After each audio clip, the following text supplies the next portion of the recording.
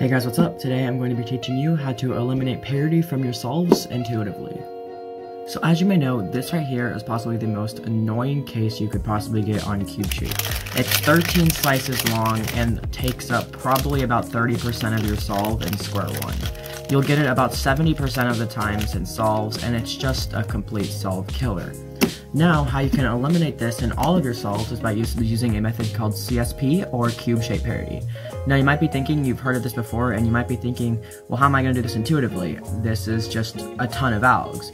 Now, that's what I'm going to be teaching you today. So, what CSP is, is you track a certain amount of pieces, and then you do alternate cube shape algorithms to eliminate parity from your solve. Okay, so the first step you need to know about tracing is parity colors. All you need to know is that blue and orange mean parity, and green and red mean parity. Any other combination of colors does not count as parity. The next thing you need to learn about tracing is that you're going to be splitting things up into groups of three pieces. How you're going to do this is you're going to be looking at where the opposites are of the three pieces you use. What you need to know is that if the first two colors are opposites of your pair, then you eliminate the middle one. If the opposites are the last two in your color pairs, you eliminate the last one. And if the opposites in your pairs of colors are the first and last, you eliminate the first one. After you determine which one you need to eliminate in your color pair, you'll be left with two colors. So in this case, it's the last two, so I need to eliminate the last. Now you'll be left with two colors. And if you remember, you're going to look at these two colors, and if you remember our parity colors, blue, orange, green, and red, you'll notice that these two colors are green and red. What does this mean? Green, red. Green, red means parity.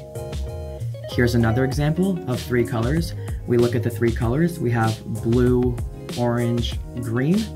And since the opposites are the last two, we eliminate the first one, and we're left with two colors, orange and green. Orange and green means no parity, because orange blue is parity, but this isn't blue.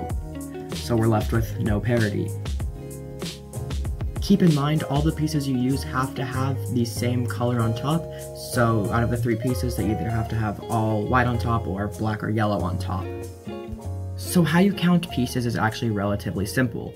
You do the simple color elimination and color parity thing like I've already taught you, and every time you get a parity, you start at zero, and every time you get a parity, you add one. So here I have three examples on how we're gonna do that.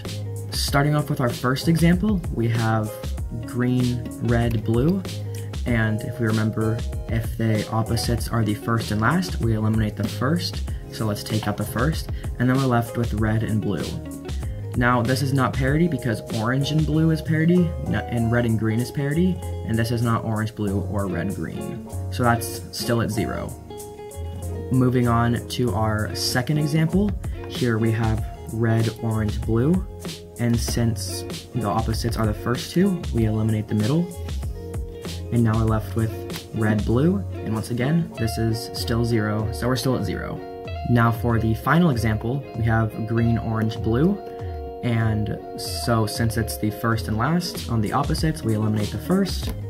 And now we're left with orange, blue, and orange, blue is parity. And since this is parity, we add one number. So now we're at one parity because we start at zero. And every time we have a parity, we add one. So now we're at one. Now, let's apply everything we've learned to an actual cube shape. So here we have an actual cube shape, so let's start tracing. So first we're going to use our starting position, which will be this piece and this corner right behind it. So we need to look for three white pieces because we need to make sure our pieces have the same color on top. So I see a white piece is here, here, and here. So there's the first three white edges I see. So now I'm going to look at those three white edges, which I have here, here, and here. Now, just like I taught you, we're gonna look for the opposites, which are here and here. And since they are the first and last, we eliminate the first. So let's just not look at the first, and then we're left with two colors right here. They are red and blue. which is no parity because red and blue is not parity. Only red and green and orange blue is parity. So that's zero, so zero parity so far. Now we're going to go to the closest piece that's black to our starting position. Here we have one black piece, two black piece, three black piece. So I'm gonna use these three. So we're gonna look at these three colors. And once again, the opposites are first and last. So we eliminate the first, so let's not look at this. Then we are left with two colors, which are green and red. And green red is parity, so we add that on to zero, so we have one. So now we're at one. Now we're gonna go to our corners. This is where it gets a little tricky. So first, our corner starting position is right here for this case. So what you're going to look at is you're always gonna be looking at this corner or this color on the top layer so the piece on the corner, the piece facing you or on your right, and on the bottom, the one facing you or on the left, because if you flipped it over, it would still be on the right. So here we have white right here, here, and here. So we look at these three colors right here, and since opposites are first and last, eliminate the first, red, blue, that's zero. So we still are at, so that's no parity, so we're still at one. Now we're gonna go to our black corners, and for this shape, I typically use this corner as a starting position. So we're gonna go here, here, here, because these are the closest to my starting position. These are, the opposites are the first and, are the first two, so you eliminate the middle, and now you're left with these two colors right here, which are blue and orange, and blue and orange is parity, so we add one, so that's two, or you could go back to zero, which is what I like to do, but we'll just go to two for example. So now we're left with two parities on corners. So that is the first step to tracing. Now, the final step to tracing is odd position pieces. This part is probably the trickiest part in tracing in my opinion, but all you're going to be doing is going to your starting position, and then you're going to be looking at all of the edges, and you're going to count the edges like this. You're going to go starting position, so one, skip this, two, skip this one, three, skip this one, four. So now you have four edges, so you go through all of the edges except skipping one. So going one, skip, one, skip one, one, skip one, two, right here would be four. So one, skip one, two, skip one, three, skip one, four. And you're going to count the white edges that you have. So in this case, it would be three white edges, and that's odd, so that is parity. So we add back on to our parity count, which was two, so now we have three. Now we're just gonna do the same thing on corners. So starting position one, skip one, two, skip one, three, skip one, four. This right here is even. And so now we are left with still three. So we have three parities in total, and odd is the good alg for this case, so we would just solve cube shape. And then when we get to the end of the solve, we don't have parity. Okay, so now I'm going to be doing an example on scallop kite. My starting position for scallop is this edge and the corner behind it, and for kite, it's this edge and the corner behind it. Now, when you're tracing, you always want to be using pieces that are closest in a clockwise form to your starting position. So with my starting position, I would start here, and then the closest one clockwise would be here, and then on the bottom, the closest one clockwise would be the starting position. So we have here. So our three edges are these three. The opposites are the first two, so you eliminate the middle one, and you're left with orange and blue. So that's one parity, so we have one. Now, what I do to remember this is I like clinch my feet um, so I can remember how many parities I have, and if I get one, then I'll clinch my foot, and if I get um, even, then I'll unclench it. But what you can do is like lift your thumb up and put it back down, or lift your finger and put it back down, or anything that works for you.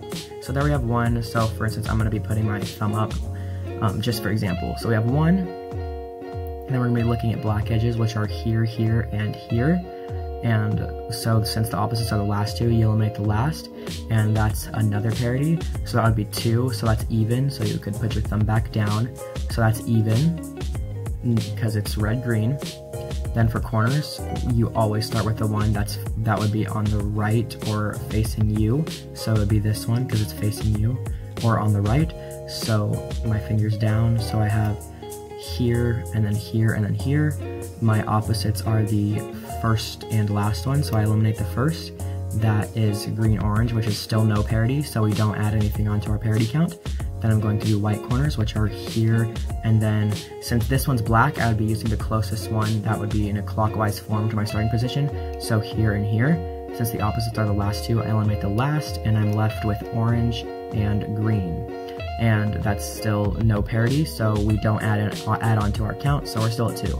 Now we're going to do odd positions, which would be starting position, skip one, here, skip this one here, and here. Now, so now that's one, so we would be adding on to our count starting position, or not starting position, but our parity count, so that's odd, so we add one, so odd, lift my thumb up, and then for corners, we have here, skip one here, and then skip one here, skip one here. That's another odd, so we add um, one, so we add one more, and that's uh, and that's four, which is even, so that is the good alg. Um, for odd positions, if you get um, zero or an even number of white edges, you don't add on to your parity count, or white edges or white corners, whatever. You don't add on to your parity count for even number of white colors on odd position. So that's zero, which is the good out. So now if I do the solve, I don't have parity. I have UZ. And that's how you trace. Now finally, we have the algs part.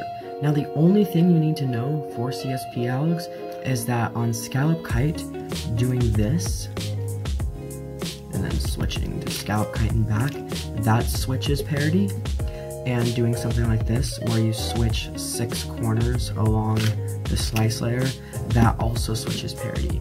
If you can do, if you, all you have to do is find ways to set up each cube shape to something like that, where you can either do a corner switch or a scallop kite switch, and that's how you'll be able to solve any case. And finally, for coming up with your own algs, you, you can also come up with different ways to set up to cases that influence parity. So for instance, for this case, you have two ways you can set up to scallop kite. You can set up to scallop kite by moving two layers, or you can set up to scallop kite moving one layer. Now depending on how many layers you move, it affects parity. So for instance, the odd alg, you would move two layers, and then you won't get parity. And then you don't have parity. So just figuring out ways to set up the cube shapes differently to influence parity. Now I'm going to go through some CSP cube shape walkthrough solves. So here we have the first case. I'm going to trace this. So I traced odd, and odd is the bad alg for me. So what I can do is I can set up to scallop kite, and then since it's the bad alg, I can do the scallop kite switch, and then solve scallop kite. And then when I get to PBL, I don't have parity. I actually have a pretty nice PBL right here. We have our next case. I'm going to trace this. So I traced even, and so here there's two ways you can set up to scallop scallop. You can set up in front or in back, and since it's even, I'm going, this is one of the cases you would set up differently to influence parity, and since it's even, I'm going to set up in back. And then when I get to PBL, I have no parity. Here's another case where you could set up to a cube shape differently and influence parity. So for this case, uh, there's two ways to set up to pawn pawn, and depending on how you set it up will influence parity. So I'm to trace this. So here I traced odd, and for the odd alg, I'm going to set up to scallop, or not scallop, scallop, pawn pawn in front, because if I had set up in back like this, it would have given me parity, but since I'm setting up in front, it cancels out parity, and then when I get to PBL, I don't have parity. So in conclusion, I think CSP is probably the most beneficial method in Square 1 to improving. I think if you're sub 15 and are really aiming to get faster, such as sub 10 and sub 9 and beyond, I would highly recommend learning CSP. If you enjoyed this video, please like and subscribe and comment down what tutorial I should do next. Bye guys!